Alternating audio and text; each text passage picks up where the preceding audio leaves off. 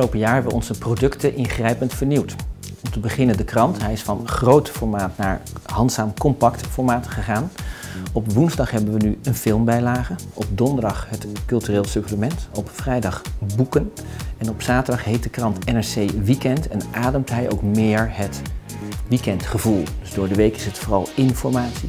In het weekend is het inspiratie. In het katern Lux kun je lezen naar welke restaurants je kunt gaan, waar je de leukste kleren kunt kopen, de weekendjes weg en dergelijke. En dan eens in een paar maanden hebben we er iets aan toegevoegd, Deluxe. En het gaat over waar je eigenlijk zou willen eten. Welke pakken je eigenlijk zou willen dragen en naar welke droombestellingen je eigenlijk zou willen gaan. Informatie, inspiratie, aspiratie.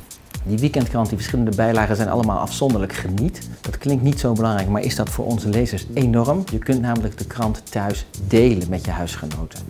Eén NRC Weekend wordt door meer dan drie mensen tegelijkertijd gelezen. Dan de website, die is totaal vernieuwd. En onze app op de iPad is ook ingrijpend vernieuwd. Wat NRC uniek maakt is eerlijk gezegd niet wij, maar de lezer. Wij zijn de krant van de beslissers van vandaag en morgen. Dus wij liggen op de achterbank bij Alexander Rinoy Kam. Wij zijn het huisorgaan van hoogopgeleid Nederland. En als je die mensen wilt bereiken, dan kan dat via ons. Als wij elkaar meer gaan zien als partner dan als mediabedrijf enerzijds en adverteerder anderzijds, maar als twee partners die samen een boodschap willen overbrengen, dan denk ik dat we niet alleen een goed verleden, maar ook een hele goede toekomst hebben. Een goed voorbeeld is de MKB Innovatietop 100. Daar hebben we samen met Sintens een, uh, een bedrijf gelieerd aan de overheid op het gebied van innovatie. De MKB Innovatietop 100 opgericht. Een partner bijgezocht die uh, heel erg geeft om innovatie, ook in zijn communicatie. In dit geval Mercedes-Benz. En samen bouwen we een uh, event, een, een MKB Innovatietop 100. En geven dat zeg maar, gezicht door uitingen te plaatsen in onze krant. interviews te doen, specials. Uh, en daarnaast uh, opbouwen naar een groot event waar 450 DGA's aanwezig zijn. De perceptie van NRC is dat wij één product hebben en dat is een krant. Maar we hebben veel meer. We hebben NRC Handelsblad, we hebben NRC Next. We waren de eerste publisher die groot uitpakte op de iPad. We hebben een nieuwe NRC Media site gelanceerd. We komen met nrc.nl, waarin we als een van de eerste in Nederland heel groot live blogs hebben toegevoegd. Wat wij hier intern hebben ontwikkeld het is nu de tijd om dat naar buiten toe uit te gaan stralen. En dat doen we door middel van kennissessies en roadshows. Om te laten zien aan onze klanten dat NRC niet meer die traditionele uitgever is die het was. Maar meedenkt met de klant en via allerlei devices contact kan leggen met onze doelgroep. Belangrijk thema volgend jaar kennissessies. Wat willen we gaan faciliteren? Kennis en inhoud en dat delen met onze adverteerders. Hoe gaan we dat doen? Sessies organiseren waar we nationale en internationale sprekers bij elkaar brengen om samen met die adverteerder de dialoog aan te gaan, te kijken naar trends en ontwikkelingen, om zodoende NRC Media te positioneren als de kennispartner en samen met de klant te kijken van hoe kunnen wij samen de doelstelling realiseren van die adverteerder. NRC Media wordt medio december gerelaunched. Wat gaan we daar doen?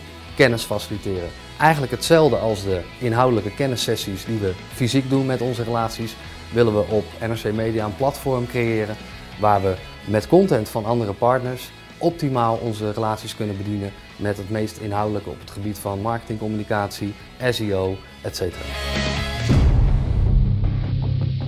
NRC Carrière hebben we dit jaar echt opnieuw in de markt gezet. We hebben een nieuwe site gelanceerd en heel erg gekozen voor onze eigen eh, merkkwaliteit en onze niche. Daarnaast hebben we een partnership gesloten met Academic Transfer, zodat we alle vacatures op het gebied van uh, postdoc uh, op onze uh, NRC carrière site hebben. En we zijn nu bezig om dat helemaal te transformeren naar meer employer branding-achtige events. NRC Media, weg van het traditionele denken.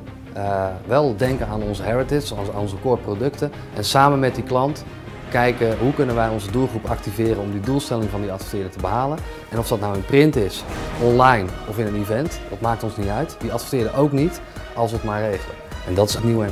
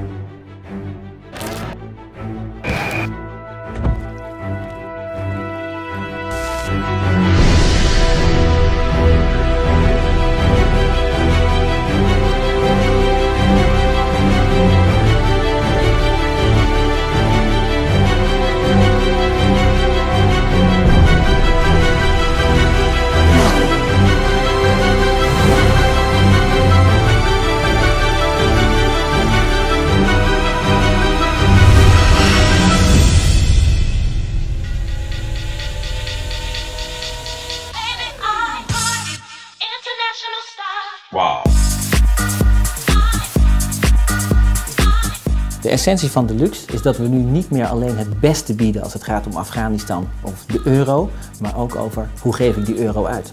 Nou, die twee werelden met elkaar in contact brengen, de hoogopgeleide beslisser, de decision maker in Nederland met de mooiste internationale merken, dat is de opdracht van Deluxe. De NRC-redactie kan dit maken omdat ze zich voor dit product heeft versterkt met mensen van buiten. Dus met ervaren journalisten die misschien niet zoveel weten over Afghanistan, maar wel alles over Paul Smit. En met gastredacteuren. In het eerste nummer bijvoorbeeld Dries van Noten. Dries van Noten is een ontwerper die ik al heel lang bewonder, omdat hij heel erg uh, doet waarin hij zelf gelooft. Dat voel je aan zijn collecties. En uh, de manier waarop hij mode maakt staat nu heel erg in de belangstelling het is de bedoeling dat je met zo'n nummer in de leefwereld van een gastredacteur duikt. Het, het leuke van zo'n uh, formule met een gastredacteur is dat je op onderwerpen komt waar je zelf niet zo direct aan zou denken. Zo hebben we nu een verhaal over Piet Oudolf, zijn tuinarchitect. Nou, Dries van Noot is heeft zelf een tuin van 24 hectare, waarvan een deel is aangelegd door Piet Oudolf. Nou, dat is een onderwerp waar je niet 1, 2, 3 aan zou denken bij een modenummer. We hebben het geprobeerd zo te doen dat misschien mensen die, die van zichzelf denken dat ze niet heel erg geïnteresseerd zijn in mode, toch leuk vinden om het te lezen.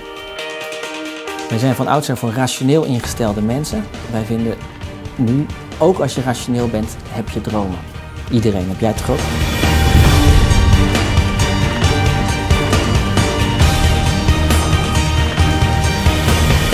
Dromen kunnen nooit over de top zijn.